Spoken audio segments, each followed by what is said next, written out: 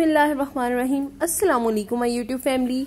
जी, कैसी हैं आप सब? उम्मीद है कि सब बहुत खुश होंगे। अल्लाह पाक सबको खुश रखे। जी तो मैं बना रही हूँ मज़ेदार सा देगी कौरमा। इसके लिए जी कोई ऐसी कोई मीनाकारी नहीं करनी। बड़े बड़े साइज़ के जो हैं वो प्याज लेने हैं और बीच में ही लहसन को भी सुट सुटा देना है।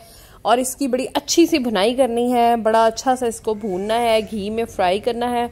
ज़बरदस्त सा और जी ये प्याज अब देखें थोड़े थोड़े नरम हो रहे हैं और बहुत ही ये मज़े का जो है वो बड़ा टेस्टी सा सालन बनता है इसका।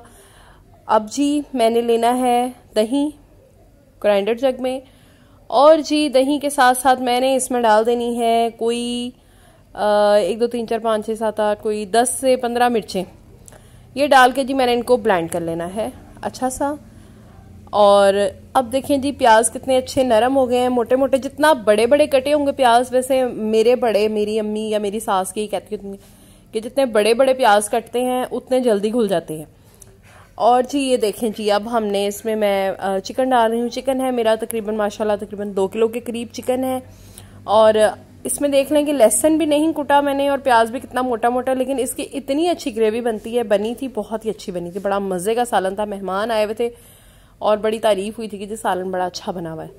ये जी वो जी स्पिन चूल्हा या चूल्हा जो भी कहते हैं इनू नविया नविया चीज़ा निकल आई हैं उससे तो हिल नहीं रहा था, फिर ये मैंने स्टील के चम्मच से हिलाया। हुआ असल में ये है कि मैं आई हुई थी अपनी अम्मी के घर। अम्मी के घर आके अब बर्तनों का अंदाज़ा ही भूल गया हुआ है। उनकी थोड़ी तबीयत ठीक नहीं थी। और जी ये अब मैंने चिकन जो है वो बड़ी कढ़ाई में शिफ्ट कर दिया क्योंकि उसमें हिल ही नहीं रहा था। अब ये देखें यहाँ पे जी खुला डुल्ला मदद से पड़ा हुआ है। कलर देखें इसका फ्राई का कितना अच्छा कलर हो गया है। लाइट का कोई इशू बन रहा है? आ, तो कभी लाइट डेम और कभी जो है वो हो रही है हल्की तेज़ हो रही है जी। इसमें मैंने डालनी है जी अब टमाटर टमाटर बहुत ज़्यादा डालने क्योंकि इसमें ग्रेवी बहुत ज़्यादा रखनी देगी कौरमा है। और ये जी अचार गोश्त का पैकेट पड़ा हुआ था थोड़ा सा साशे। मैंने वो भी डाल दिया है। मौसम चेंज हो रहा है तो बस मेरे भी गले में थोड़ी सी इरिटेशन सी हो रही है। जी माइंड मत कीजिएगा आप।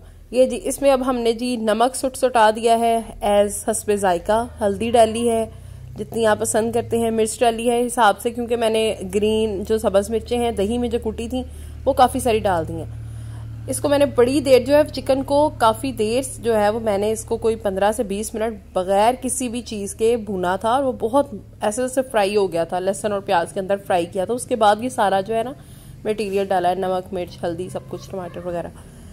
जी इसको अब मैंने बड़ा अच्छी से इसकी बुनाई की है, कोई आठ से दस मिनट के लिए। अब ये जो है वो दही डाल दिया मैंने। दही मुझे वैसे थोड़ा सा कम लगा था तो मैंने जो सादा बचाया हुआ था डिब्बे में दही, वो भी मैंने बाद में डाल दिया था। वैसे वो वीडियो में नहीं है, मैं आपको बता दूँ। तकरीबन आधा किलो के करीब इसमें दही डल गया है।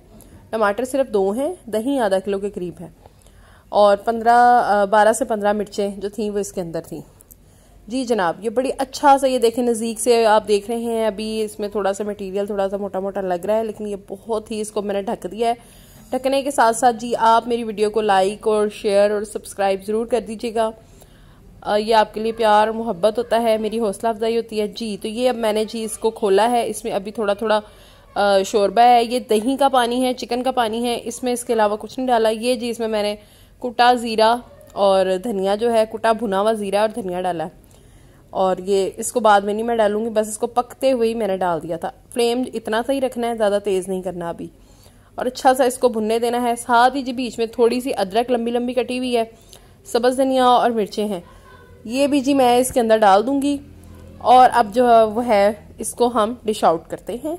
और ये देखें जी, माशाल्लाह से बहुत ही मज़े का सालन आप इसकी शक्ल देख सकते हैं। इसकी अकल भी बड़ी अच्छी थी। बहुत मज़े का सालन था, बहुत ही टेस्टी था। आप अपने घर में बनाएँ, इंशाल्लाह। सब आपकी तारीफ़ करेंगे। उंगलियाँ चाटते रह जाएँगे जी खाने वाले। बहुत ही मज़े का सालन है। दुआओं में मुझे याद रखिएगा। और जी, मेरी हेल्प करें मेरे चैनल को ग्रो करने में। ओके जी, अल्लाह हाफिज़। रब रखा। अल्लाह ताला सबको खुशियाँ दे और खुश रखे।